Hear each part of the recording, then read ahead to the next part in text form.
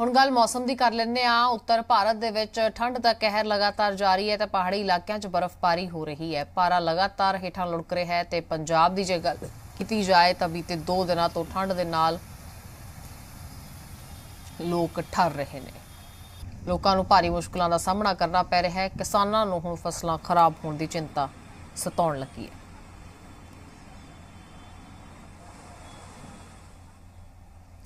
ਸੋ ਮੌਸਮ ਦੇ ਵਿੱਚ ਆਈ ਇਸ ਤਬਦੀਲੀ ਦੇ ਚਲਦਿਆਂ ਲਗਾਤਾਰ ਫਿਲਹਾਲ ਕਈ ਤਰ੍ਹਾਂ ਦੀਆਂ ਸ਼ੰਕਾਵਾਂ ਜਤਾਈਆਂ ਜਾ ਰਹੀਆਂ ਨੇ। ਹਾਲਾਂਕਿ ਅੱਗੇ ਆਉਣ ਵਾਲੇ ਦਿਨਾਂ ਦੇ ਵਿੱਚ ਕਿਸ ਤਰ੍ਹਾਂ ਦੇ ਹਾਲਾਤ ਬਣਦੇ ਨੇ ਇਹ ਦੇਖਣਾ ਹੋਵੇਗਾ। ਪਰ ਹਾਲ ਦੀ ਘੜੀ ਠੰਡ ਦੇ ਨਾਲ ਲੋਕ ਠਰ ਰਹੇ ਨੇ।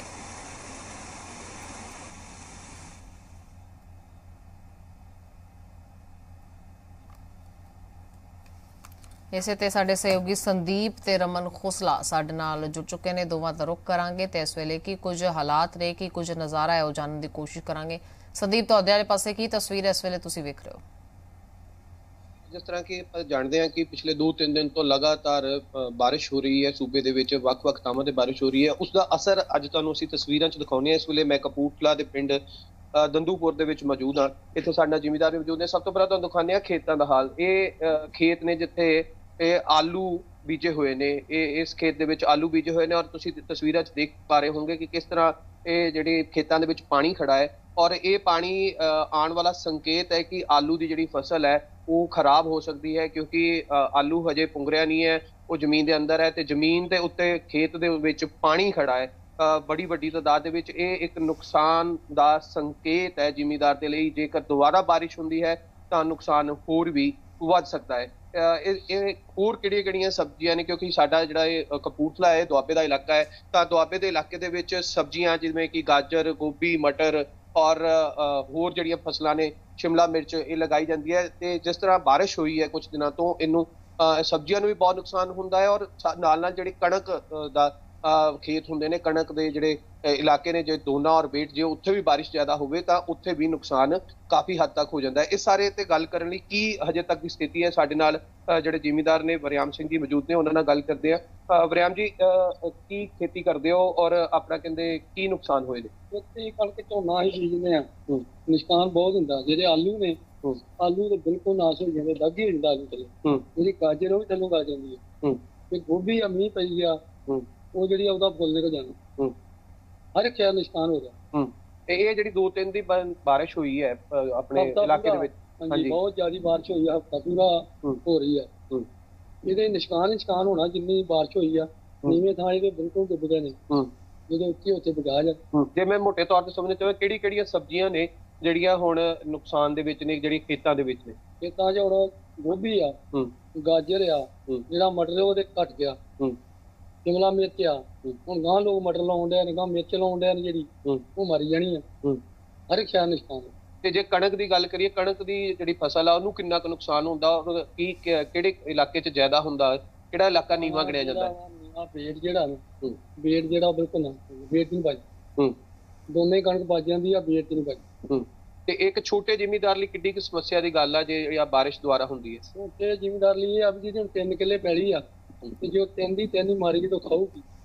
ਬਿਲਕੁਲ ਸੰਦੀਪ ਆਵਾਂਗੇ ਤੁਹਾਡੇ ਕੋਲ। ਜ਼ਾਹਿਰ ਤੌਰ ਤੇ ਕਾਫੀ ਨੁਕਸਾਨ ਜੋ ਹੈ ਉਹ ਚੱਲਣਾ ਪੈ ਰਿਹਾ ਹੈ। ਰਮਨ ਖੁਸਲਾ ਵੀ ਸਾਡੇ ਨਾਲ ਨੇ। ਰਮਨ ਤੁਹਾਡੇ ਵਾਲੇ ਪਾਸੇ ਕਿਦਾਂ ਦੀ ਤਸਵੀਰ ਹੈ? ਤੇ ਕੱਲ ਪੰਜਾਬ ਦੀ ਕਰੀਏ ਤਾਂ ਕਈ ਥਾਈਂ ਫਸਲਾਂ ਨੂੰ ਲੈ ਕੇ ਕਿਸਾਨ ਚਿੰਤਿਤ ਨਜ਼ਰ ਆ ਰਹੇ ਨੇ। ਕੀ ਮੰਜ਼ਰ ਹੈ ਇਸ ਵੇਲੇ ਤੁਹਾਡੇ ਵਾਲੇ ਪਾਸੇ? ਕੀਤੀ ਜਾਵੇ ਤੇ ਲਗਾਤਾਰ 4 ਤਰੀਕ ਤੋਂ ਜਿਹੜੀ ਅਹ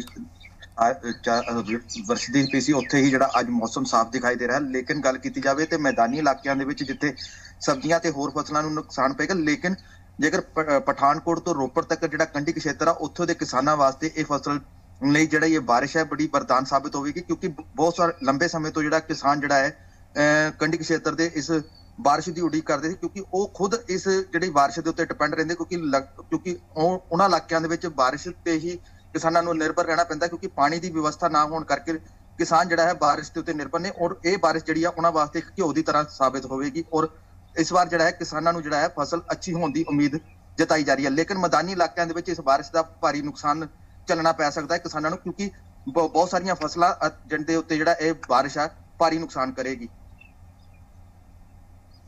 ਬਿਲਕੁਲ ਜ਼ਾਹਿਰ ਤੌਰ ਤੇ ਫਸਲਾਂ ਨੂੰ ਲੈ ਕੇ ਕਾਫੀ ਚਿੰਤਾ ਇਸ ਵੇਲੇ ਕਿਸਾਨ ਜ਼ਾਹਰ ਕਰ ਰਹੇ ਨੇ।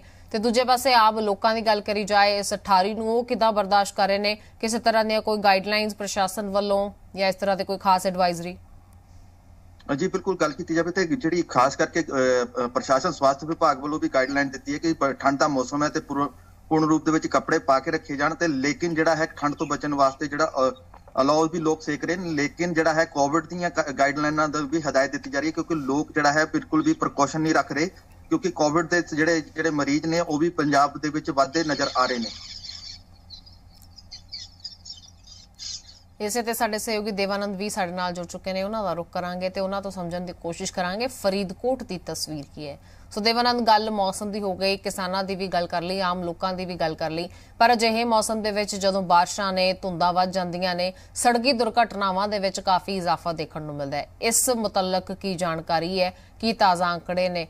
ਕਿਸ ਤਰ੍ਹਾਂ ਦੇ ਪ੍ਰਬੰਧ ਨੇ?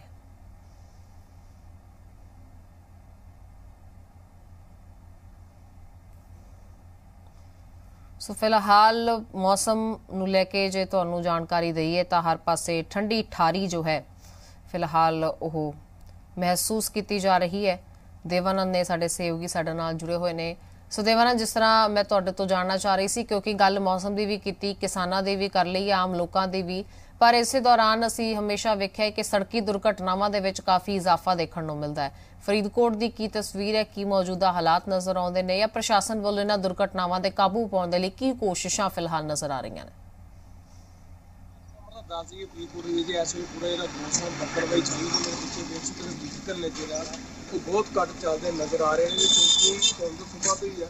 ਪੈ ਰਹੀ ਸੀ ਤੇ ਜਿਹੜੀ ਬਾਰਿਸ਼ ਦੋ ਦਿਨ ਪਹਿਲਾਂ ਬਹੁਤ ਬਾਰਿਸ਼ ਹੋਈ ਤੇ ਨਿੱਕਾ ਦਾ ਵੀ ਸ਼ਾਇਦ ਨੂੰ ਲਗਾਤਾਰ ਹੈ ਇੱਥੇ ਗਾਈਡਲਾਈਨ ਜਾਰੀ ਕੀਤੀਆਂ ਜਾ ਰਹੀਆਂ ਨੇ ਕਿ ਰਿਫਲੈਕਟਰ ਵਗੈਰਾ ਲਗਾਏ ਜਾਣ ਅਤੇ ਡਰਾਈਵਰ ਜਿਹੜੇ ਬੇਨਤੀ ਕੀਤੀ ਜਾਂਦੀ ਹੈ ਕਿ ਲੋਕ ਆ ਜਿਹੜੇ ਡਰਾਈਵਰ ਨੇ ਉਹ ਵਹੀਕਲ ਆ ਜਿਹੜਾ ਬਹੁਤ ਧੀਮੀ ਗਤੀ ਨਾਲ ਚਲਾਉਣ ਕਿਉਂਕਿ ਧੁੰਦ ਜਿਹੜੀ ਬਹੁਤ ਜ਼ਿਆਦਾ ਪੈ ਰਹੀ ਹੈ ਤੇ ਟ੍ਰੈਫਿਕ ਪੁਲਿਸ ਵਿਭਾਗ ਵੱਲੋਂ ਥਾਂ ਥਾਂ ਤੇ ਕੈਂਪ ਲਗਾ ਕੇ ਇਸ ਬਾਰੇ ਨਾਲ ਜਾਗਰੂਕ ਕੀਤਾ ਜਾ ਰਿਹਾ ਕਿ ਪੀਲੀ ਪੱਟੀ ਲਾ ਕੇ ਤੇ ਵਾਈਟ ਪੱਟੀ ਲਾ ਕੇ ਵੀ ਸਰਕਾਰ ਗਈਆਂ ਗਈਆਂ ਹੈ ਤੇ ਜਿਹੜੀਆਂ ਡਾਕਟਰਾਂ ਵੱਲੋਂ ਵੀ ਹਦਾਇਤਾਂ ਕੀਤੀਆਂ ਗਈਆਂ ਨੇ ਕਿ ਛੋਟੇ ਬੱਚਿਆਂ ਨੂੰ ਵੀ ਘੱਟ ਤੋਂ ਘੱਟ ਬਾਹਰ ਭੇਜਿਆ ਜਾਵੇ ਕਿਉਂਕਿ ਇਸ ਮੇਲੇ ਦੇ ਜਿਹੜੇ ਬੁਖਾਰ ਖਾਂਸੀ ਇਸ ਤਰ੍ਹਾਂ ਦੀ ਕਈ ਤਰ੍ਹਾਂ ਦੀਆਂ ਜਿਹੜੀਆਂ ਬਿਮਾਰੀਆਂ ਉਹ ਵੀ ਲੱਗ ਜਾਂਦੀਆਂ ਨੇ ਕਿਉਂਕਿ ਕਰੋਨਾ ਕਾਲ ਚੱਲਦਾ ਇਸ ਕਰਕੇ ਫਿਰ ਵੀ ਆਪਣੇ ਹਥਿਆਰ ਹੈ ਜਿਹੜੇ ਉਹ ਬਹੁਤ ਰੱਖਣੇ ਜ਼ਰੂਰੀ ਆ ਪ੍ਰਸ਼ਾਸਨ ਲਗਾਤਾਰ ਦੇ ਜਿਹੜੀ ਦੋ ਦਿਨ ਤੋਂ ਲਗਾਤਾਰ ਬਾਤ ਜਾਰੀ ਹੈ ਤੇ ਗਾਈਡਲਾਈਨ ਜਾਰੀ ਕੀਤੀ ਜਾ ਰਹੀ ਹੈ ਜੀ ਜੀ ਬਿਲਕੁਲ ਬਹੁਤ ਤਮ ਸ਼ੁਕਰੀਆ ਹੈ तमाम ਜਾਣਕਾਰੀ ਦੇ ਲਈ तमाम ਸਹਿਯੋਗੀਆਂ ਦਾ